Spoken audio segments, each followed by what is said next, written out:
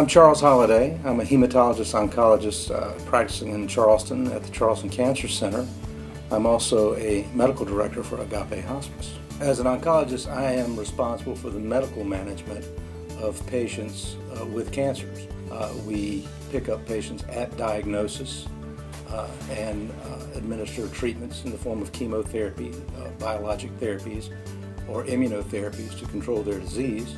And uh, we're responsible for their pretty much their entire primary care while undergoing treatment. I've, I've been associated with hospice for about four years now, and I've been consistently impressed with the teamwork, uh, the camaraderie.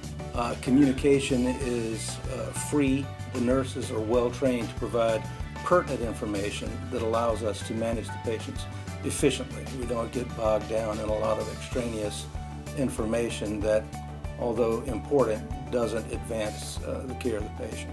Professionally, hospice is very important because it provides, uh, allows me to provide a continuum of care for my patients, um, from diagnosis to the ultimate outcome of their disease, whatever that may be. And when I talk to patients about hospice, uh, it's usually couched in that we are changing our focus.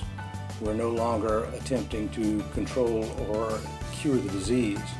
We're now our treatments are focused on, again, quality of life. Another uh, misconception about hospice is that hospice is associated only with uh, applying or administering pain medicines, treating symptoms. Through my interactions with Agape in particular, you learn that nothing could be further than the truth. It is a team approach that uh, provides for the social welfare of the patient, the spiritual welfare of the patient, as well as the medical welfare of the patient. Um, a good word is holistic. It's a holistic approach. Um, I had a unique opportunity to experience hospice when a, an employee of mine finally reached the end of her journey uh, battling a primary uh, brain tumor.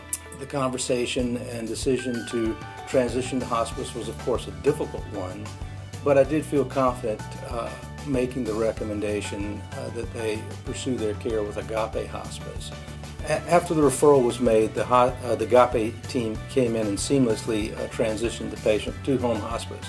And the, the net result of that is the, the patient herself felt comfortable and well supported uh, throughout um, her last days. And it didn't just end with the patient, uh, her family as well felt well supported and cared for. And they have actually commented that they were uh, very, very pleased with the free communication between myself and the on the ground uh, hospice team.